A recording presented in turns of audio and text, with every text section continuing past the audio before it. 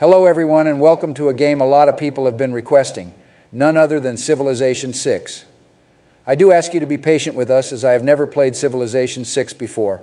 However, I have played Civilization 5, so maybe it won't be too bad. Anyway, I hope you enjoy the video, and if you do, leave a comment down below and subscribe. Hey, yo, how old is she? She be looking damn fine, though. Joe, you creepy old man that is his daughter, clearly, Jesus Christ, 20 seconds into the game, and you have already made the entire audience uncomfortable by saying that about a minor. Can we just start the game before Sleepy Joe gets arrested or something? And I have to share my luxury Trump brand jail cell with him because I would rather take the chair than spend a night in the same room with Sleepy Joe. All right, so in civilization, picking your civilization is always one of, if not the most important step. So let's take our time and choose carefully, all right? I choose the United States. Shut up, here we go, lads. We. Donald, did you even bother reading the perks that the United States gives in this game? This was meant to be one of the most important parts of the entire video. The only important part of this video will be you guys watching me make America great again in this game as I masterfully expand from sea to shining sea, waving the flag of liberty everywhere we go. All right, whatever, Donald. I guess we should make another warrior unit since barbarians might try and kill us soon as we expand out, so building up might be a good idea. Hey, um, Donald, what are you doing with our one starting warrior unit? I am simply thinking like a businessman, George. In today's world, those who expand the fastest and most aggressive do the best as they take up the largest market share. So I am simply exploring the North American continent so that we are the first ones to control the entire continent and not some silly little Native American tribe who was technically here first or something. Jesus, there's just so much to unpack there. So, first of all, we are not in today's world, as you put it. Second of all, the very existence of barbarians in the game will make your stupid idea near suicidal, as we will have to defend to many cities with our own warriors being too busy exploring, which will slow down our progress overall. And are you even listening to me, Donald? What were you talking about? I stopped listening after I heard things I don't agree with.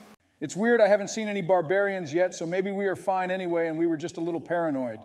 You guys should be thanking me because of my brilliant natural ability in business. I have expanded our known world exceptionally, and soon the entire continent will be ours.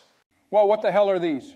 Oh, so this is the policy area where you can exchange new policies to get bonuses like reducing the time it takes to produce something or gain a bonus in something else in the game. It's one of the classic features of Civilization as a franchise. It feels kind of empty in this game. I remember there being a lot more in Civilization 5, you know? I was expecting a level of idiocy that bad form Trump or Sleepy Joe, not you, Obama. Did you really forget that you have to fucking unlock shit in this game? It is literally one of the most well known facts about this game that it has a skill tree kind of thing to unlock it. Oh, wonderful. Trump's natural ability to be a dumbass has left us defenseless, and now there are barbarians around the capital. What is your plan now, Mr. J, for Genius Trump? Even if we made another warrior, it would take several turns, and you better pray to God that those barbarians don't feel like stealing our worker or attacking our capital. Biden, you simply do not understand the Sigma male grind set. Sigma rule number 83794 is always sending your best warriors far away from your capital as possible during a possible invasion so that people know you don't need anyone else to fight your own battles. Do you need to talk to my therapist, Donald? You seem to be troubled by something that is causing severe autism that isn't genetic, considering how successful everyone in your family was before you. Like I bet your birth was put into those seconds before disaster struck compilations.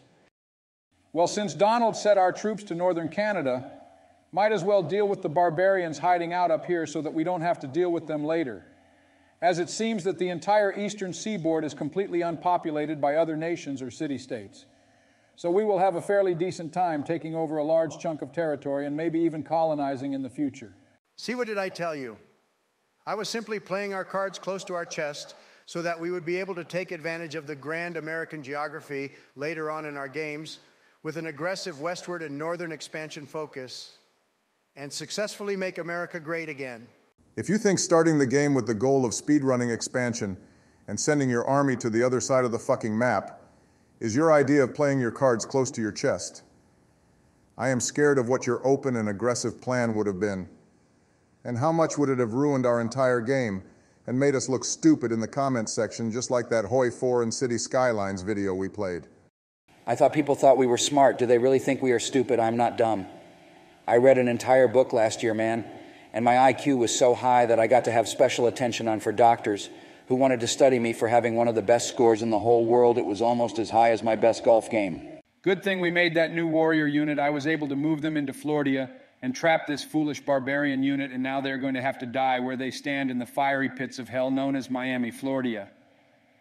Over the next few turns, of course, because we don't have the attack damage yet to one shot the barbarians. So, yeah, I mean, I still had a good plan to trap them here anyway, so I give myself props for that. Joe, you aren't a Napoleonic genius for simply standing in front of them like it is some kind of caveman era game of red light, green light. All you did was follow them and then beat the shit out of them like Obama when he was still in his hood gang days. The fuck did you just say about me, you little shit? I will have you know I have the nuclear launch codes and I will nuke the shit out of Mar-a-Lago, you racist, overfed orange. Now shut the fuck up. Why are you sending the settler over there when it has a good spot to build a city symbol over there where there is more farmland, no barbarians, and it is closer to where Donald sent our warrior unit, so now we can hopefully use him again instead of having a useless unit running around taking damage because Donald thinks this is 1845 and he is about to beat the shit out of the Mexicans to take some land or something. Joe, will you shut up? I get that your mind is too degraded from eons of being alive, but you cannot diss my strategy that has not only mapped all of Canada, but now we'll be able to map all of the Great Plains, which will be the first step in making America great again.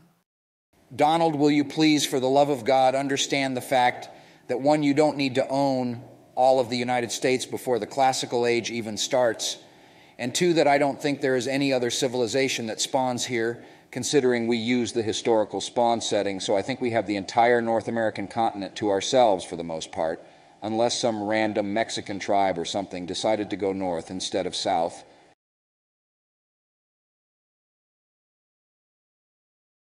Oh shit, should we be worried about that, guys? Nah, don't worry. I'm sure that they will leave and respect our property rights just like any good future us citizen that comes from the northern half of the continent would.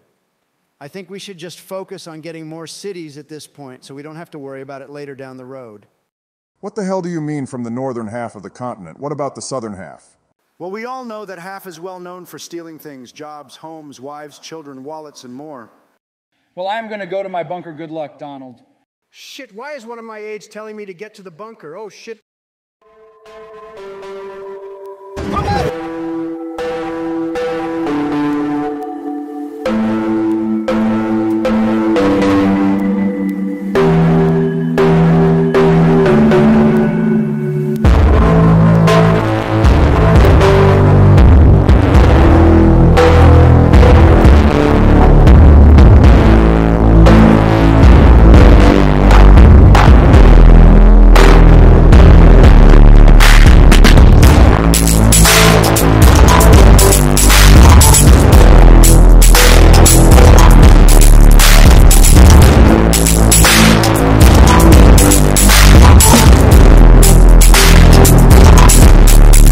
The fuck just happened? Donald, are you okay?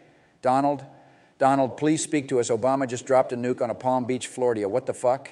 Get wrecked, barbarians. I am really showing these barbarian hordes who is boss right now, guys. Be proud of me. I am such a gamer right now. Did anyone else notice the nuclear bombing told us to subscribe at the end? Now, don't worry, guys. I am fine. I was pretending I was never in Palm Beach because I knew Obama would violate several nuclear test ban treaties while playing a game someday. So right now I am in New York City because he would never dare to nuke a city this big and cripple the United States for the rest of its life. Don't push your luck, Donald, you silly goober. Oh, Obama, you are such a scallywag. This truly is a pretty funny situation, isn't it, guys? Guys, Obama just killed half a million people and you called him a goober and a scallywag? These are war crimes even worse than Yemen.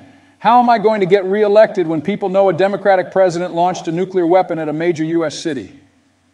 This isn't funny, guys. I have to do something about this. God fucking damn it. I can blame it on Iraq again if you want to have some fun in there. Whatever I have to go, I have an emergency cabinet meeting now. Thanks a lot, Obama. You know how much fucking paperwork I'm going to have to do now that you killed 500,000 people? I will be doing my job for at least 20 whole fucking minutes instead of playing games with you guys. This wasn't funny. I guess I will do the outro since I was clearly the MVP of this game today. Thank you all so much for watching. Please like and subscribe if you enjoyed and leave a comment down below on what game you'd like us to play next. And most of all, come back tomorrow for more daily presidential gaming content. Good night, my fellow Americans.